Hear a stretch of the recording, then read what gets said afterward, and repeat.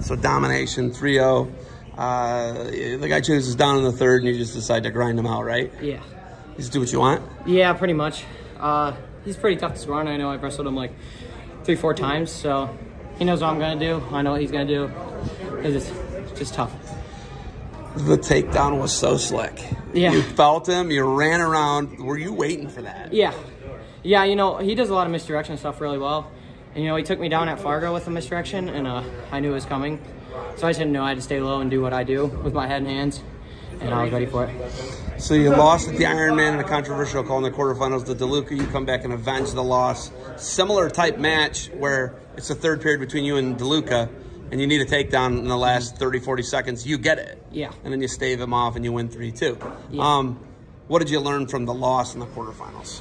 You know I had a really tight, tight takedown in the quarterfinals, and I missed it. I barreled him, and he like lat dropped me and like went off and squared up. So uh, I learned I got to get that takedown, even though you know the call was not the greatest, but I should have had that takedown. So it is what it is. But I got it in the second match, and uh, yeah, that was the decider.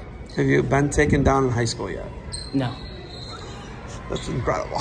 Yeah. You've lost, but you haven't been taken down. Mm-hmm. What's Yeah. it like knowing that that's how tight your matches can be? That you've never been taken down in high school, but you've got a loss. You know, like think about that. Have you, You ever know- thought about that? Yeah, it's it's crazy. I almost got taken down today. Uh, I got, guy shot a high crotch and I pancaked him, and I didn't realize he was gonna rip a headlock, and I almost got headlocked. But uh, other than that, yeah, it's crazy to think about how I haven't even given up a takedown yet. But But the matches are that close, though. Yes. Like they're that close to where you can win matches with no takedowns. With no like you could have won that match without that takedown. Yeah. You would have won one nothing tonight. Yeah. Think about that. that's crazy. That's real crazy. Uh, does Coach Burnett talk to you and the staff talk to you about extending leads and blowing people's doors off? Absolutely. You know, I try and do it in practice, but wrestling Joey, you know, you get close to five takedowns, but you can't get one of them. But, you know, they always preach to me, keep going forward. Uh, I've had some problems in the past. I backed up quite a bit, but uh, I think I've changed it a little bit. Uh, going forward, stay more in center, and keep pushing for points for sure. You need a bunch of bonus point wins. You got a, la- a bunch last year at the state tournament. You know, you really opened things up. Um, you guys don't win, though. Ultimately, it comes down to your last couple sets of finalists. You have six finalists on the team this year from last year. What do you guys got to do to win this year?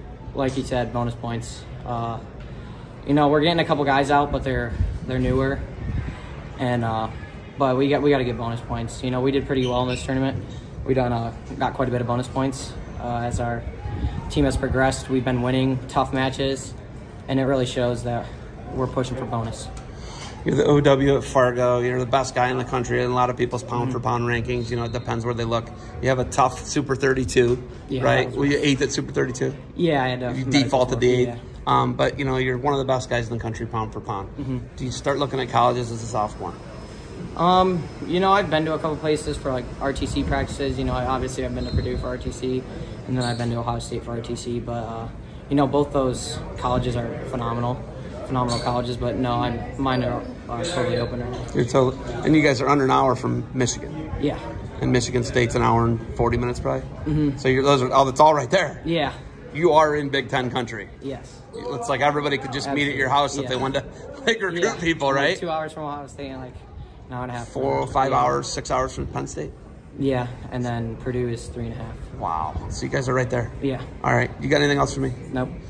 All right, Marcus. Congrats on the title. I didn't call you Joey. That was good. Yeah. And congrats on the title. Thank you.